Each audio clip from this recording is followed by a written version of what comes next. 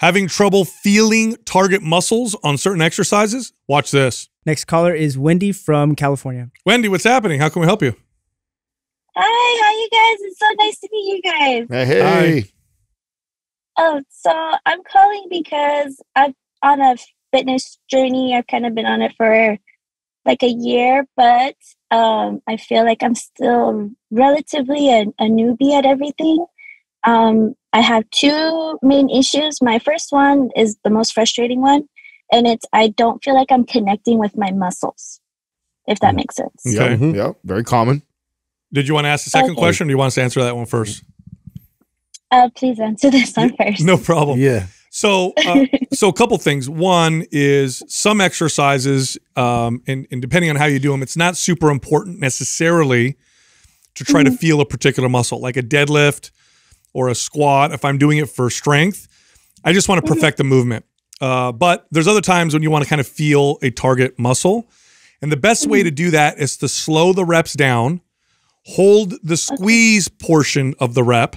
So like mm-hmm. the, the part of the rep where you're finishing the rep and you're squeezing the muscle. So slow down, focus on the squeeze, and then do higher reps. Typically that gets the person to start to feel the target muscle that they're working. We're we're I'm going to send you a program of ours that is perfect for this. Um, it's MAPS Symmetry. The first two weeks of it is isometric. So the the part that Sal's talking about, learning how to squeeze uh, a, a muscle and and focusing on that in an exercise. We have a program where we actually program that in to teach you how to do that for every muscle group. You doing that for a couple weeks, you'll start to get that mind muscle connection, and then when you go to the exercises in the the following weeks, you apply the technique that Sal said. That's going to help out. Now, do you notice it uh, more so in in so like I, I, I'm, I'm assuming when you do a bicep curl, you probably feel your biceps, but then maybe filling your butt in squats is hard. Like, which Yeah. ones have been Or your difficult for you? Or, yeah, back. So, uh, really, it was. It's actually my back and my arms that I have trouble with because I feel like I'm mostly using. So, like if I'm doing rows or if I'm uh, doing anything that works out my tricep, I can't feel it. I feel like it's all forearm. Okay. Oh, interesting. Yep. Yeah, slow down, focus on the squeeze. So what you're doing is like, let's say you're doing a tricep press down, give yourself four seconds to do the rep. Then at the bottom, really squeeze the tricep real hard for like two seconds, and then come up real slow, and keep the reps somewhat higher. I'd say 12 reps, 12 to 15 reps, and that should start to get. You should start to feel the the target muscle if you do that. There is a YouTube video I did on Mind Pump TV. I'm look. I'm going to look for the title. Maybe Andrew can help me. It's on tricep push downs. So, my, and I actually go through step by step uh, the technique when people have a hard time feeling it in their triceps. Uh, The video is called "Do Cable Tricep Pushdowns Like This." All right. Did you get that? So, okay, yeah. Yep. So check that out. That'll that'll give you like a detailed video of what Sal's kind of talking about. I, I get into that. by the way, if you're feeling it in your hands and your forearms, you might be squeezing the bar or the rope too hard.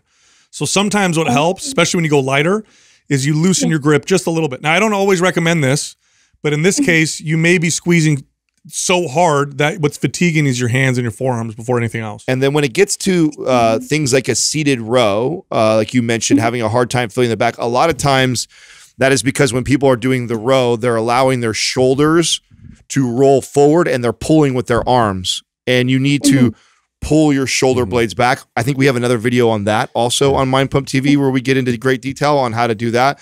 And that's probably why you feel in your arms because your arms are Opening doing and most of it. pulling your, your chest towards, especially anything for the back, like in lat pull downs, especially too, like focusing on that part of it to really open up and allow your uh, back muscles to contract. Um, you know, that's all part of it too. So it's it's some of it's technique, but also slowing it down and then really kind of training yourself to just kind of produce and intrinsically squeeze the muscle harder, make them more tense uh, at that bottom position. Okay, so do you feel like um, once I, I finish that program, I'd be able to um, like understand when someone's saying like squeeze with your back, I'd be able to to really connect with my back to be able to Yeah. achieve that. Look, what you're doing right now, where you just did that little movement, you were squeezing your back. You know, Oh. sometimes you have to develop them. I mean, you, you- let me put it this way: you wouldn't be able to do the movement if the muscles weren't working. So, Oh, okay. so yeah, so the muscles are working. It's just you got to keep getting stronger, keep getting a connection to it, get it, slow down the reps, and eventually be able to feel it more. But they're working. I mean, you just Yeah. pulled your shoulder blades back. The muscles that did that were in the mid back. So they definitely are working. Okay, cool. right. Um, and then my second issue that I have is my form.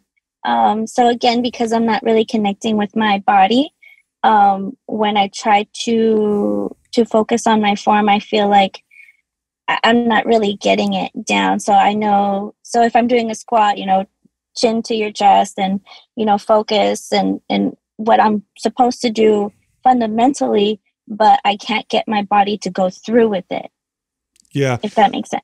Yeah. Um, so do you have any of our programs? Are you watching our videos on how we teach exercise?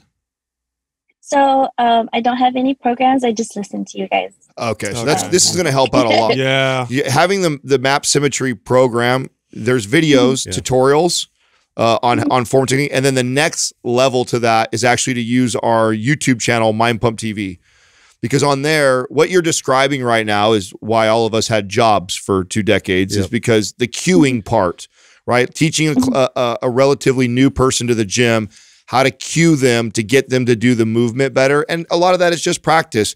And we we try to do a really good job of putting out some of the best videos and cues and things that we did to help people with squatting, with deadlifting, with rowing. And so if you just go to the Mind Pump TV YouTube Yeah. channel and put in uh, the exercise and Mind Pump, you should see some pretty good demo videos for That's what you're looking for. best place to go for troubleshooting. Um, our programs are amazing for you know getting the cues and be able to kind of like watch and mimic uh, how they're performing the exercise. But in to get into the nuance of it all, um, that's really where we we took our time, kind of explaining all of the different um, uh, nuances of the exercise. So I would go there first.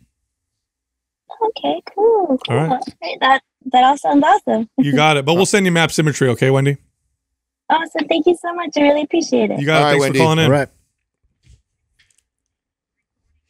This is where working with a good trainer is like invaluable. Yeah. You know what I mean? Because Yeah. I could, I she's saying, I don't feel this, I don't feel that.